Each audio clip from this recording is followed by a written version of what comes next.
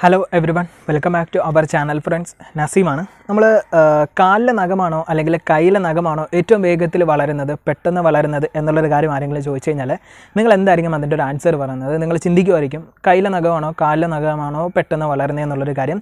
But അതിന്റെ fact എന്താണെന്ന് വെച്ച് കഴിഞ്ഞാൽ കയ്യിലെ നഖമാണ് പെട്ടെന്ന് വളരുന്നത്. എങ്കിലും ഓക്കെ അതേ ടൈമിൽ നമ്മുടെ കയ്യിലുള്ള നഖത്തിൽ ഏത് കയ്യിലെ നഖമായിരിക്കും പെട്ടെന്ന് വളരുന്നത് എന്നുള്ളൊരു കാര്യം ചിന്തിച്ചിട്ടുണ്ടോ. അത് അപ്പോൾ ആ ഒരു സമയത്ത് നിങ്ങൾ വേറൊരു കാര്യം ചിന്തിക്കും.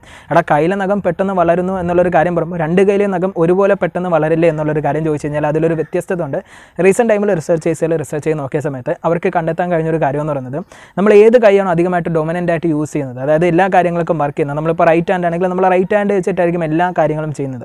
അപ്പോൾ ഇപ്പോൾ ലെഫ്റ്റ് ഹാൻഡ് ആണെന്നുണ്ടെങ്കിൽ ലെഫ്റ്റ് ഹാൻഡ് വെച്ചിട്ട് ചെയ്യുന്ന ആൾക്കാരെല്ലാം ഡൊമിനന്റ് ആയിട്ട് ലെഫ്റ്റ് ഹാൻഡ് യൂസ് ചെയ്യും.